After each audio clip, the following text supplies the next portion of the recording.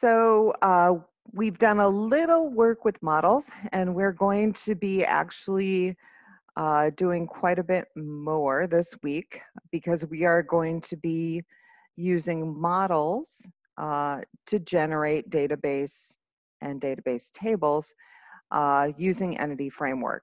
And specifically, uh, what we're going to be doing is called Code First.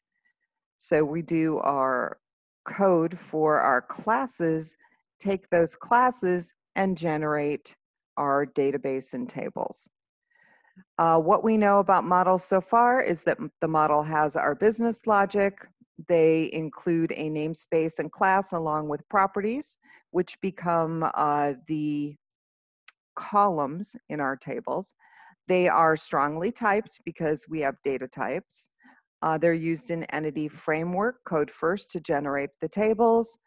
Uh, we can pull a model's namespace into a controller and create objects. We can also pull a model's namespace into a view. To create a model, we basically just right click on the model folder, go to add in class, and give it a name. Uh, then uh, some code is generated and all we really have to do is add the properties. And if we want a default value, we just set the property equal to the default value. And what Entity Framework does is it basically makes uh, interfacing with the database easier and less error prone. It is uh, open source object relational mapping. Uh, it's a framework that's used in .NET applications and it was developed to make uh, working with a database much easier. It allows you to work at a higher level of abstraction when you deal with data. And this little graphic kind of shows you how Entity Framework kind of fits into your application. So you've got your user interface, which is your views. You have the business layer, uh, which gets into your models. And then you've got uh, the database down here.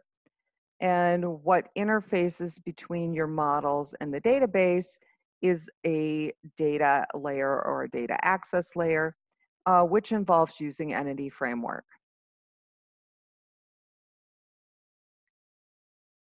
So a couple of different ways that you can use Entity Framework is you can do code first, which is what we're going to do today, where you basically write the code for the model and Entity Framework generates the database and tables.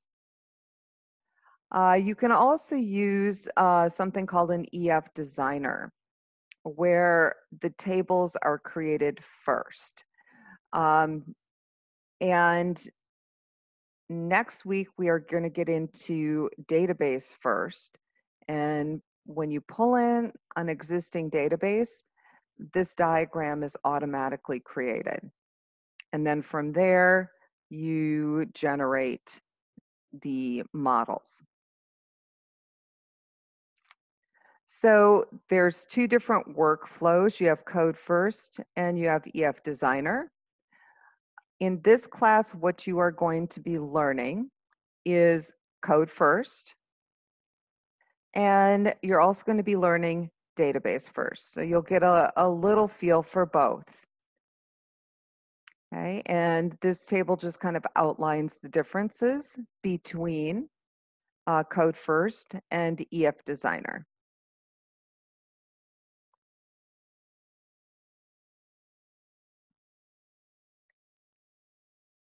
So, code first migrations uh, are something that we are going to be using once we're done testing our database uh, and we're ready to move it into production. So you'll have an initial database that works with our entity framework model. Uh, migrations will be used to track our changes and they also keep our database up to date. Uh, but until we are actually ready to go live, we do not do migrations. So that's something that we're going to do in upcoming weeks.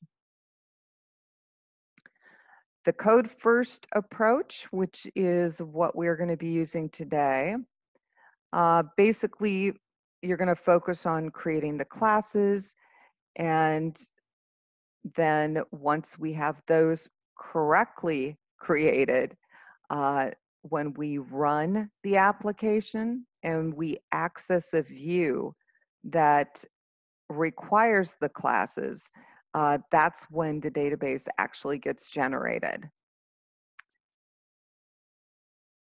So we've got our classes and eventually our database gets generated.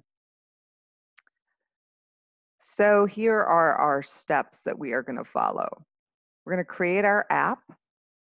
Uh, we are going to kind of style our site, which is the home controller and the views. Then we're going to install uh, Entity Framework 6. We'll create our data models. Uh, and then uh, after the data models, we create something called a database context.